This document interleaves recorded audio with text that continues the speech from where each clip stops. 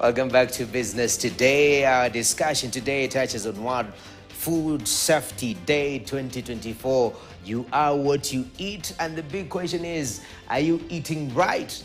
Then it makes your life right. And we have a heavy, heavy panel here. Rosalind Daisy Karimi, Director Fish Quality Safety and Trade at Kenya Fisheries Services. Also have Godfrey Nyangori, Agrify Program Manager at Micro Enterprise Support Program Trust.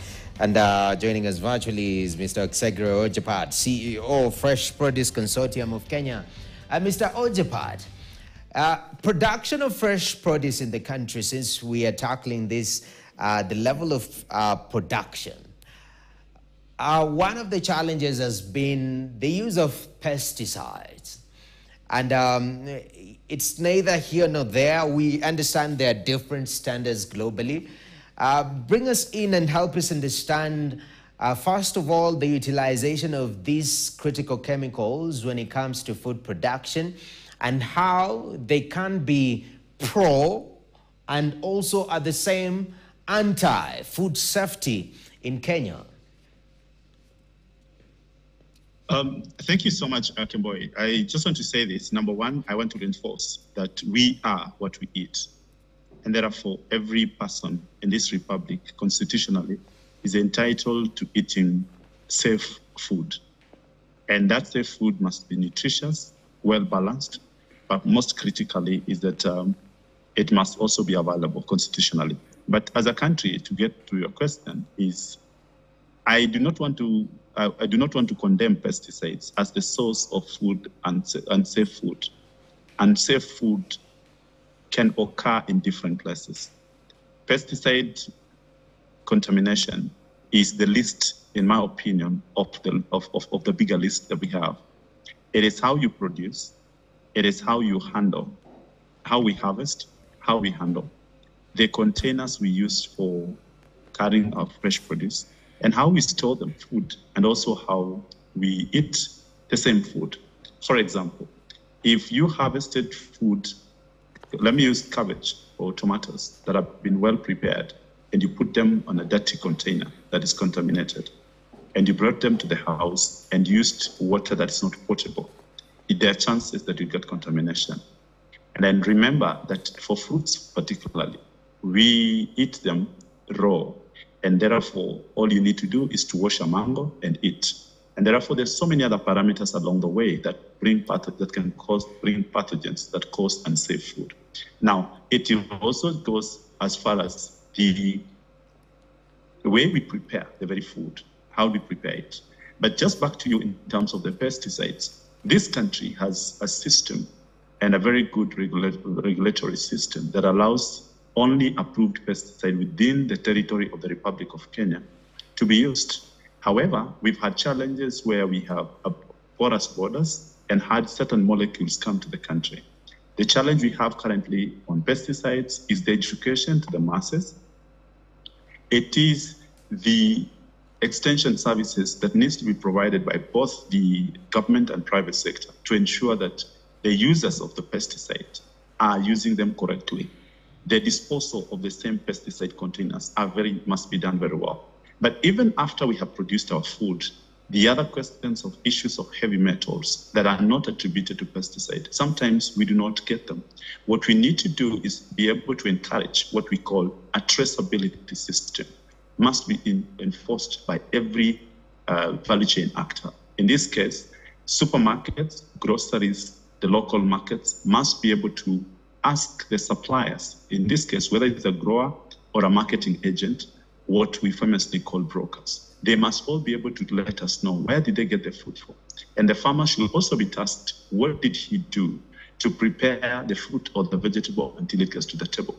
The issue of pesticides again is what is the selection of the pesticide? Who is advising the grower on how much and when and where to buy the said pesticide to deal with a specific pest or disease that affects our fresh produce? Okay. And therefore, what we have done as an institution is that we are running programs, capacity building programs, training on different standards and different um, standards that are globally acceptable, both in the domestic market and in the global market, ensuring that the principles of food safety are enshrined within the systems and within the operations of all the food safety, uh, the food operators, particularly within our membership.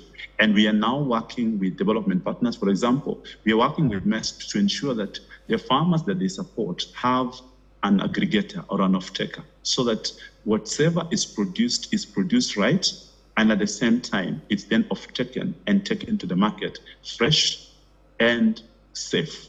The issue of contamination then could appear along the way, and we have a lot to do as a country, both from the private sector and from the government sector, in terms of taking full responsibility of how we handle our food, how we store our food, even in our houses, and how we transport. Sadly, Kemboi, we have people who go to the butchery, they buy meat, and they put in handbags. And that handbag has soap, that handbag has uh, Vaseline, that handbag has so many things. Mm. So the meat from the supermarket will be the meat you bought from the butchery. It's okay. But as long as much as soon as you mix it with different other products, either in the bag or in the container you're carrying, you're bound to cause contamination. Okay. Then there are contaminations that happen at the farm level, contamination that happen at transportation level, right. contamination that even happen on the chopping board, just uh, on the chopping board. How do you wash your food? How do you chop it? How do you prepare it? How do you serve it? And what kind of container? So, how do we wash our hands? Do we wash our food with potable? So, the challenges we have may just go beyond a pesticide it okay. is not just about pesticides, it's about all many contaminants along the way. All and right. the reason why all of us must work on this and to prepare for um, for, for, for, for the challenges, particularly when you look at these years, I think. All right. Uh, very, very important. Uh, Rosalind, you, you've had Ojepat say yes. sometimes you buy meat and in the bag there is Vaseline you test this meat and it's like there is a level of Vaseline in this meat, you know.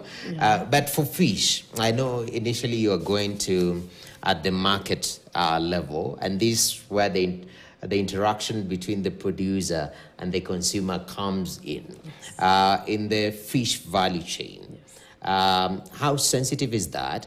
Uh, what are people supposed to do? For example, a store the other time when I buy beef, I should be able to look at the beef and know this is certified to be here in the butchery, which most of us are not able to look for that stamp and, and verify. So for fish, uh, what are the loopholes, especially at the market level, and what can be done to seal those loopholes to make our food safer?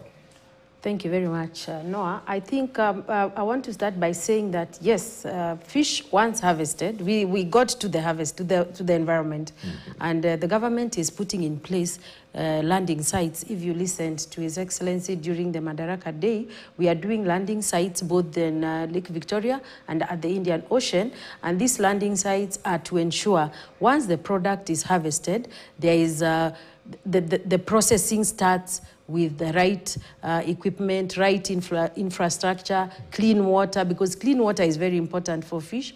Temperature control is another critical area for, to, for fish to be safe at the end uh, consumption level. So temperature control, we, uh, what we advise is that uh, the use of ice, clean ice, and uh, clean ice is made from clean water, potable water, we say. So if uh, that chain is maintained from harvesting, you harvest it and put it in uh, clean ice, clean ice where the temperature is lowered. Why are we lowering the temperature is because to, of prevention of growth of bacteria. And then from there, once you get to the market, uh, you process your fish in an environment that precludes contamination. What am I saying? That it should not be contaminated by other, other things. You keep raw at their side and uh, cooked on their side. Don't mix the two. If you are using a knife to do the gutting and, and uh, scaling, then you need to make sure that is not the same knife you are going to use when the fish is ready. So that knife stays there. So once the fish comes to a fish shop, I want to just start with that. Then uh, what the Mama Mboga, Mama Karanga, or the establishment management is supposed to do is, as he has said, let, note the source of this fish, traceability. Very, very important in fish. I bought this fish from this uh, beach, Usenge Beach in Kisumu. Let the person at the shop note that because that will help us trace where the problem would have been. So from that, you get your fish, and if you are preparing this fish maybe to cook or to store it, then you need to wash the fish using running water. Clean running water potable lan- running water.